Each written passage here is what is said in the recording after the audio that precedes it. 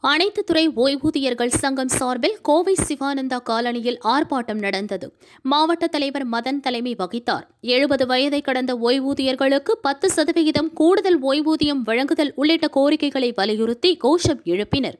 மாவட்ட செயலாளர் பாலகிருஷ்ணன் உள்ளிட்ட இருநூறுக்கும் மேற்பட்டோர் பங்கேற்றனர்.